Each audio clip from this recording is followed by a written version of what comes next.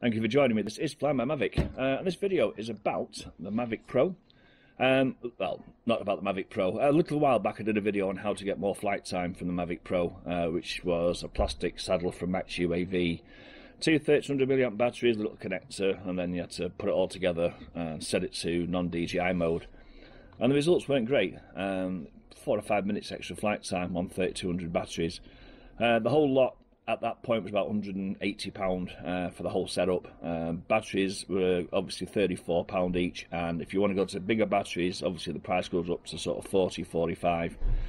And it just it, it didn't look. It didn't, it's not that it didn't look. It, it it didn't do what I expected to. I was I was hoping to get sort of you know 20 minutes extra flight time. Not happening. Anyway, luckily for me, there's a chap called Vincent on Facebook, and he builds batteries. And when I say he builds batteries, I mean he builds batteries. This is a double Mavic battery, uh, and he builds them for the Mavic Air, the Spark, the, you know, the the, uh, the new one, the Mavic Air 2. Uh, pretty much every DJI battery, uh, he has now produced one of these, what I call a mega battery. As you can see, it has the standard US, uh, uh, the standard charger there, and it also has a balance lead and an XT60 connector, so you can actually um, overcharge them if you want to. Now, know you're wondering, what's the weight? Okay, so I'm going to bring the scales in. I'm going to set them to zero. I'm going to put on a standard Mavic battery, which is 237 grams. And I'm going to put on the big one, which is 629. So just a little bit more. I'll tell you what we'll do. We'll put that on and we'll tar it at zero. And then we'll put the big one on. And the difference in weight is 392 grams. Yeah, well, it's a bigger battery. I mean, it's going to weigh more, obviously, but it's going to give you longer flight time. Now, I'm out in the garden today, so I'm going to be doing a flight test, just a hover test, because I can't get out to fly at the moment in time. Using the Mavic Pro, of course. Um, I know you're asking, how does it stay in? Because obviously it hasn't got the clips that uh, a Mavic Pro has. Um, so the standard Mavic Pro battery has, I should say. It's quite simple. You take your battery and you plug it in. Like so. Make sure you get the pins right and you don't mash up on the wrong ones. And then I use one of these straps. This is the ones you can get for holding your props in place if you're in a case. All you need to do is slide it under the quad, like this, and then over the top, and just pull it tight. Once it's in, just make sure it's not fouling your uh, connectors, your sensors underneath. You can always turn them off if you want to. I don't really fly with the sensors on much because I'm always flying well above ground level anyway. And that's it, you're good to go. Um, in the app, it does show you the voltage uh, for the battery. If you're using the Android version of the app, you also have a, a battery capacity level in the app as well. So I'm going to get set up and we'll go and do the garden test. Okay, so let's go fly.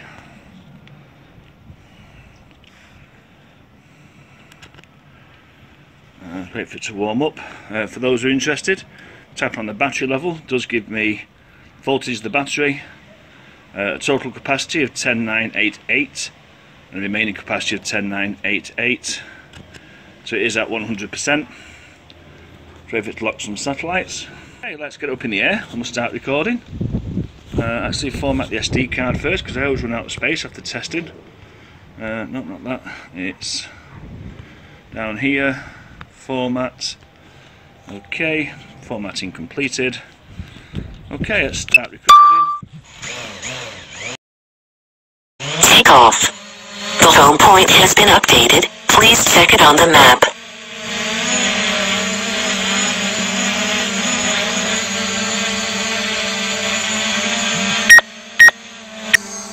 Okay, so it's 26 minutes in, uh, which is about the standard flight time for a Mavic battery before it starts to scream at you to start thinking about landing. We are still got 42% um, of battery life remaining.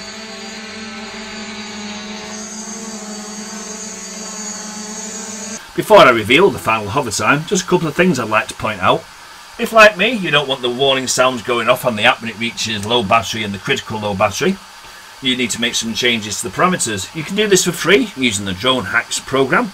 Drone Hacks is available from dronehacks.com. I'll put a link down below to it. Uh, just connect your quad up, go to the hack parameters section. Once it's found all the parameters, click on the button marked advanced parameters.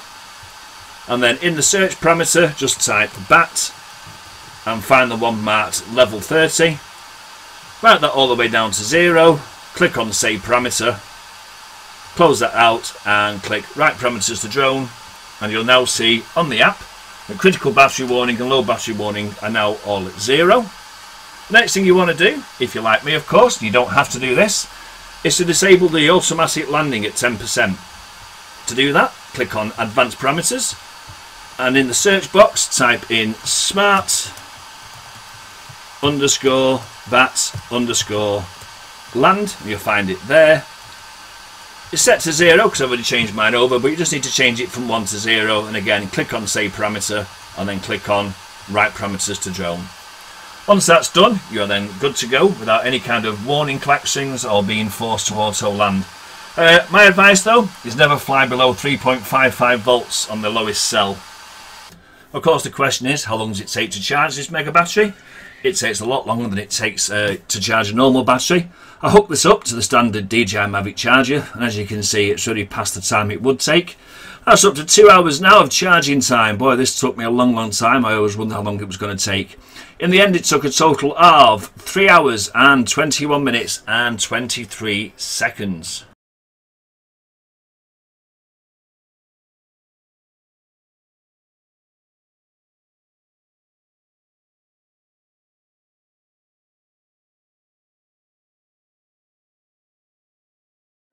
So, time to reveal the total flight time or the total hover time. Now, this was my second flight. Uh, on the first flight, I ended up with a, a bad cell and I ended up at uh, 1.89 volt. Uh, Vincent told me to do a balance charge, which I did. Did another test flight, and the total flying time is 43 minutes 12. So there you go, 43 minutes 12 seconds hover time. I did that twice uh, because the first time, as I said, I had a, a bad cell uh, in the battery, and that was because of me. Okay, I charged this up and left it for about two weeks fully charged because the weather was crap, and because I thought it well, it did auto discharge, but because these are bigger batteries, the level that DJI discharges to isn't enough. Vincent recommends at least 50% charge if you're going to leave it uh, stood for any long period of time. Uh, you can use the uh, the plugs on the side, plug into a charger and discharge it, or you can just plug into the quad, leave it powered on, and let it run down to 50%. Go on his, his Facebook page here, drop a message, tell him what you're after, and he will give you the price. Um, and you can trust him. There are absolutely loads of people on the DJI modding group who are brought from Vincent and who have been more than satisfied with the batteries that he produces. Um, my original battery, I had a problem with the BMS board, got in touch, and within about a week and a half, Vincent has sent me a new board. At his cost, bear in mind, shipping from where he is, it's incredibly expensive, but he said, I'm at fault, hands up, it's obviously a faulty board, I'll send you a new one. Swapping it over, he sent the plastic wrap, he sent the board, couple of instructions, and I did it myself in about half an hour. Thank you very much for watching, and take care, and as always, fly safely.